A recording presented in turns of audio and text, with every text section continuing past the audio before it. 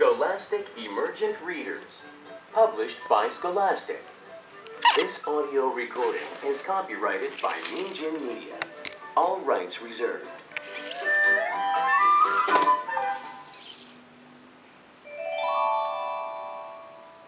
Animal Homes.